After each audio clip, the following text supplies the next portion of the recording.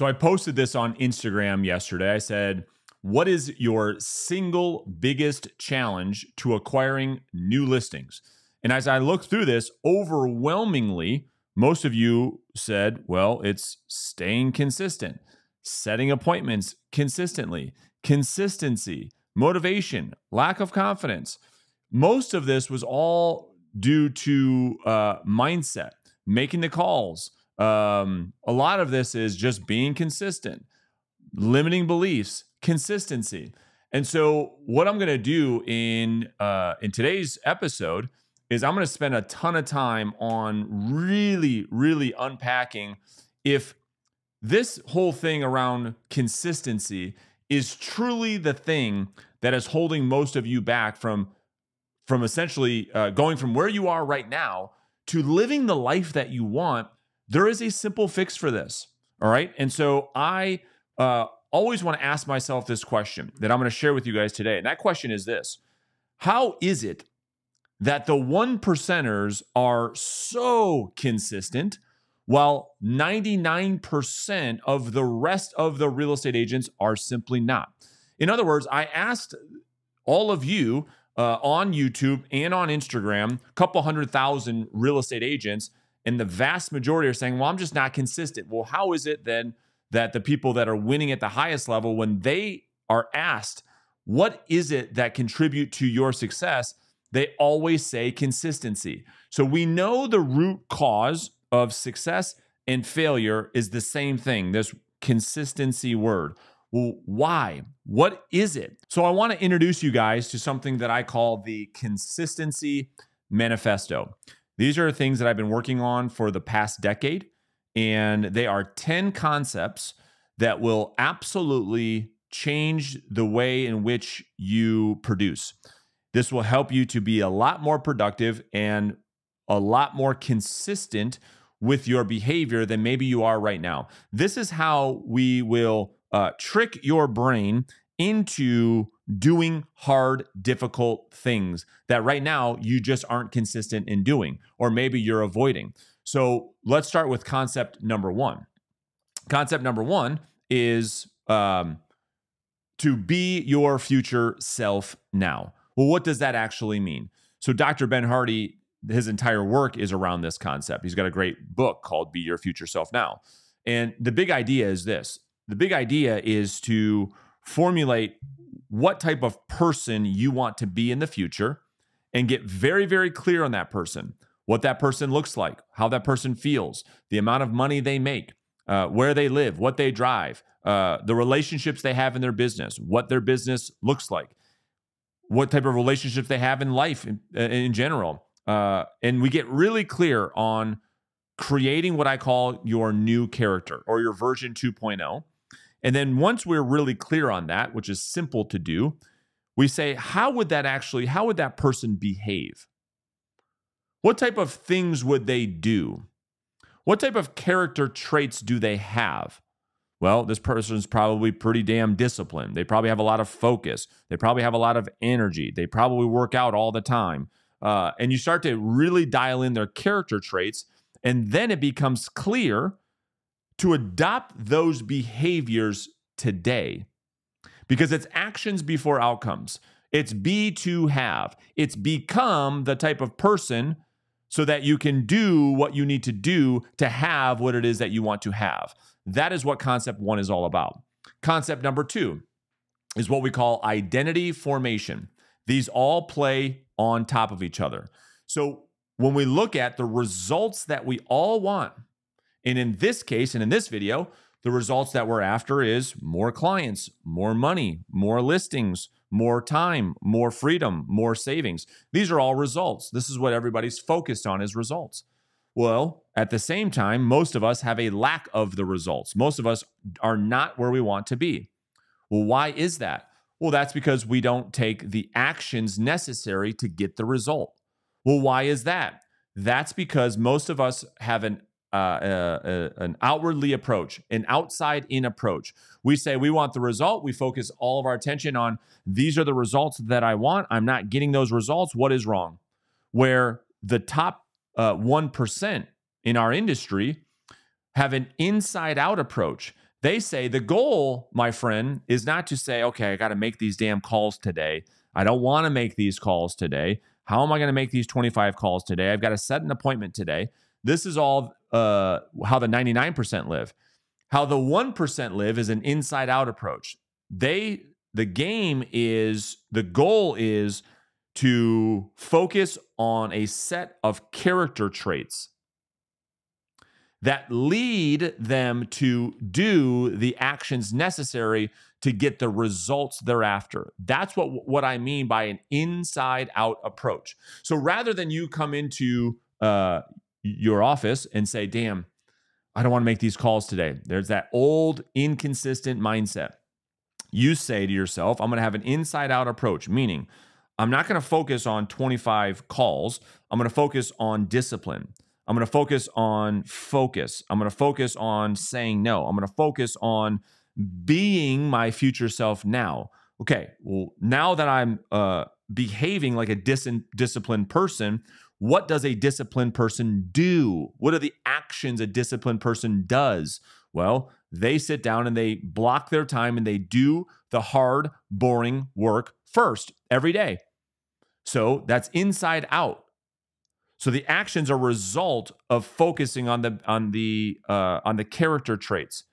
And as we do the actions, the results take care of themselves. That's the difference in concept two of identity formation is that on a daily basis, you're focused on the character traits. You're focused on becoming your future self now so that you can do what you need to do to get the results that you want. Let's talk about concept number three. I call this the focus audit. It has two parts to it. This is something that I often will have coaching clients do. So, Warren Buffett is famous for this concept that he talks about, which is addition by subtraction. So, what he will do oftentimes with his high level uh, executives is to say, okay, the result you want is X. What are the things that you're doing that uh, will drive the result that you're after? And oftentimes, the executive will come to the meeting with a laundry list of items 20, 30, 40, 50 things. These are all the business initiatives, Warren, that uh, my team and I are working on to produce this, this result. And what Warren is famous for doing is to say to his executives, well, if you've got the 25 things on your list, here's what I want you to do I want you to eliminate 20 of them such that you're left with the five things that would move the needle the most that have a direct impact on the outcome. And when we look at a real estate agent's business, we see this all the time. If the goal is to produce two, three, four, five, six, eight, ten listings per month, and we look at all the things you do in a particular month, there are there is a lot of fat that could be trimmed. There is a lot of things that don't lead to the actual result or outcome that we want that we need to eliminate. And so this is how we move forward. This is how we do more by doing less. Why? Because we only have enough bandwidth. We only have a certain amount of finite energy, attention, and focus. And so if that's spread between 25, 30 different things that don't lead us to the result, we have to cut out all the fluff and sit down and audit. Okay, here are all the things I'm doing right now. Let me go through each one of those one by one. And which of these have a direct correlation to the goal that I have 10 listings a month, five listings a month, two listings a month. And you'll quickly see, don't need that. Okay, don't need dancing TikTok videos. That does not help me get listing appointment. All right, cut that out. Uh, don't need to spend all the time uh, at our uh, uh, maybe our monthly chamber event. That doesn't lead me to getting a listing.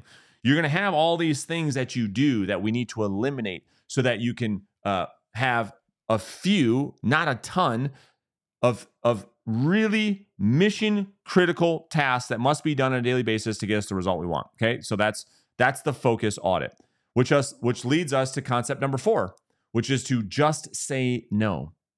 So as we're doing the focus audit, this next concept has everything to do with you having the courage to say no to the people and the things that are not serving you. And many of us overcommit ourselves. Most of us overcommit our time, and most of us overcommit our money to things that don't help us to accomplish the goal that we have. And if even if that goal is to help other people, overcommitting to things that are not necessary or overcommitting because we want to be people pleasers and and saying yes because you just can't simply tell people no oftentimes has us spread too thin and not enough time to work on the things that actually matter. So, when we're looking at being more consistent, what are the things you're saying yes to right now? What are the things you're committing to right now that simply are not making an impact on the goals that you have? Next, concept number five. Concept number five is to burn clean fuel. What does that actually mean? Well, uh, garbage in, garbage out. If we don't, if we don't have a daily habit of clean diet, exercise, you are going to burn uh, what I would say bad fuel. You won't have a lot of energy. You won't have a lot of focus. You won't have a lot of willpower. You won't have any of those things because you're burning bad fuel. So when we when I say burn clean fuel, what I mean by that is going to okay, here's the thing. I'm going to say these things and you guys are going to say, "Wow, what's this have to do with listing property and selling real estate?" And I would tell you everything. So burning clean fuel means that you go to bed at the same time every single day. That you limit the amount of al- uh, alcohol consumption. I've cut it out of my life 100%. That you wake up at the same time every single day. That you exercise and elevate your heart rate on a uh, every single day. That you take a cold shower every single day. That you take time to uh, work on your mental state and your mental health and your mental toughness. That's what I mean by burning clean fuel so that you can produce at the level that I think that you want to produce garbage in, garbage out. So we have to change the input. The input is what we put in our body, what we put into our mind, and how we treat our bodies. That's what I mean in concept number five. Concept number six, the Pomodoro technique. So, when we look at being as productive as possible, as being consistent as possible, this is a really, really good strategy that you can use starting today. How it works is this so if we look at the concept of, let's just say you have a, a tough time uh, prospecting every day, this is the thing that you avoid, that you're not consistent in, that you know you should be doing every single day, but you lack the consistency. Well, here's what we can do. Rather than saying, "Oh my God, I've got this huge, uh, I've got this huge goal. I've got to talk to 30 people today, and I'm just avoiding it." Okay, let's break this down into uh, hour blocks. And what happens is if we break that one hour block up into two pieces, it's 45 minutes of timed deep work where you know you're going to get a break in 45 minutes. This allows the brain to stay focused when the brain knows there is there's a break to be had in a certain amount of time.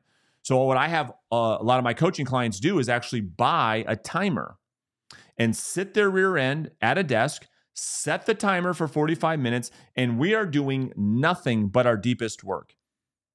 And in this case, we're talking about lead generation, proactive lead generation, picking up the phone and having conversations with people every single day. And we could do four of these sessions per day. And because we know, our minds know that we have a break coming up, this allows us to say, okay, I only have 42 minutes left.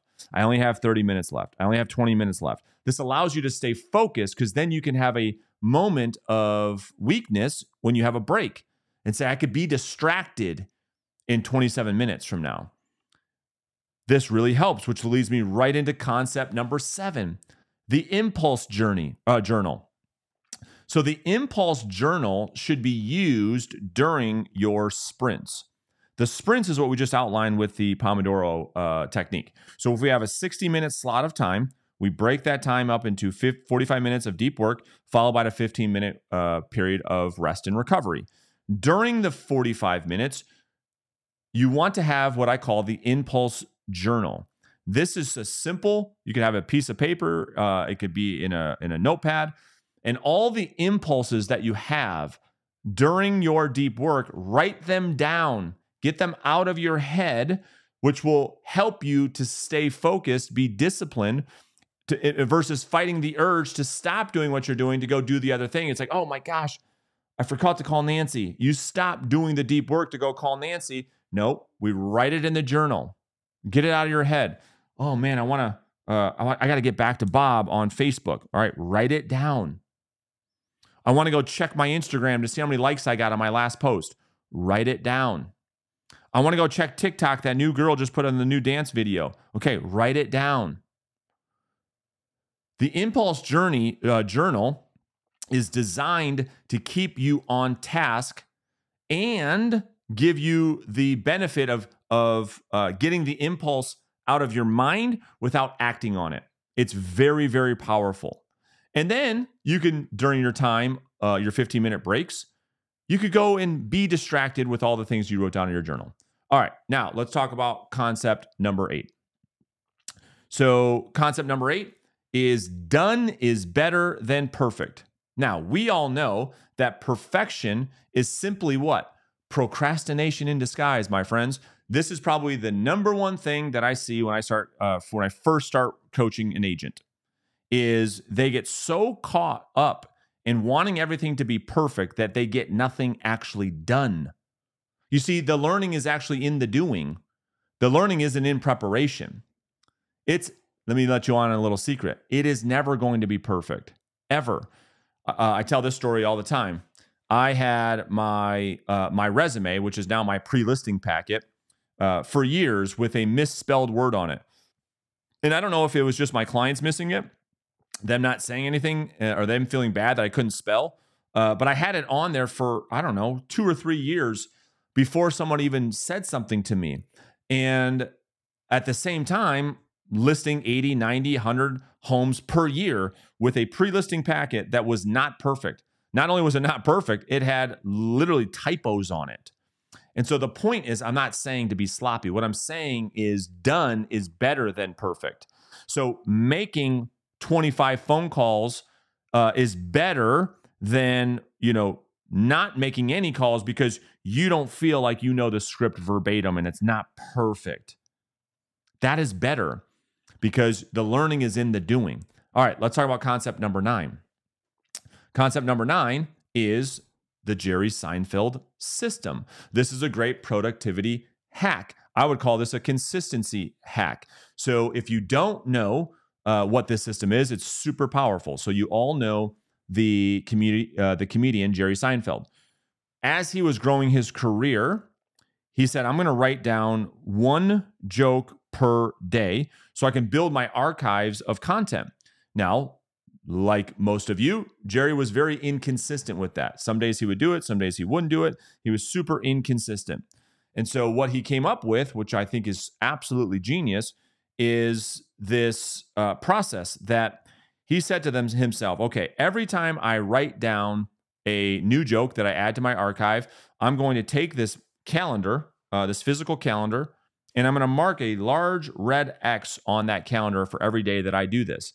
And what ended up happening, and a lot of uh, psychologists have, have done research around this, Jerry, it became too painful for Jerry to break the chain of his red X's that he'd mark off than it was to sit down and just do the hard work. In other words, it was harder for him not to do the work than it was to do the work because he had such a chain of consistency and the and the mere the the the thought of breaking that consistency became more painful than it was to do the thing that he was looking to avoid. So we do this all the time with agents that we coach. We say, uh, uh, have a prospecting calendar in front of you, and every day that you hit your contact goal, give yourself a large red X, and then don't break the chain. And you'll find, just like Jerry found, just like many other humans find uh, in a lot of these research um, uh, projects, is that you start to gamify this. You start to say, man, I just love the feeling I get from the consistency I have with this little system is so powerful for my for my confidence because confidence comes from what? Confidence comes through following through on your commitments you make to yourself. So the confidence I have through this system, you start to say, wow, look at how many X's I have in a row. And you don't want to break the chain. It's super powerful. All right, let's talk about concept number 10 Parkinson's Law. So, you all have heard of Parkinson's Law, which is that work expands to fill the time allotted. You've all heard that before. Well, what does that actually mean, and how do we apply that in real estate sales? So, here's the issue most agents that I talk to walk, uh, walk around uh, feeling as though they have to work 24 hours a day, seven days a week, because they always have this sense of like guilt that um, I'm, I'm not disciplined. I don't follow a schedule. So therefore, I feel like I always have to be on, always be by my phone, always uh, be working. Well, if we look at the, let's just say the uh, the process of prospecting, most agents feel guilty because it's like, oh, another day has gone by where I didn't do what it was that I said I would do. I said to myself, okay, this is the week. I'm going to have 20 contacts per day, 100 contacts per week, because that's what my business says, uh, my business plan says I have to do. Well, they walk around all day saying, well, I was distracted this morning. I'll do it this afternoon. And then this afternoon comes and it's like, oh, I got caught up with this and I'll just make it up tomorrow morning. And they live this cycle and they, like, as you know, never get to the point of consistency. Well, what Parkinson's Law teaches us is that rather than saying, okay, I've got all day to have these 20 contacts, is to invert that, is to actually limit the amount of time you give yourself for lead generation to say, rather than saying, I have 8, 10, 12 hours to do this thing, we say, we only have two hours to do this thing. And I cannot, and I will not, and I won't uh, prospect outside of that time it's amazing what people can do with a limited amount of time. You don't believe me? Look at somebody the day before vacation. Look at yourself. Why is it that we behave in a certain way that we're so damn productive the day before you leave on vacation? It's amazing what you get done. You clean the house, you do the dishes, you get your car done, you, you get the kids' uh, teeth clean, you you do all the laundry, you pack, you you do so many things that were sitting on the to-do list for weeks and weeks and weeks and weeks and weeks and weeks that you're able to get in one day when you limit the time. That is what we can do to be more productive. So I'm curious as you guys leave this video today, which of these concepts do you resonate with the most? Which of them do you think will have the biggest impact? Because what we know is this that your results live in your ability to be consistent in what it is that you're doing every single day.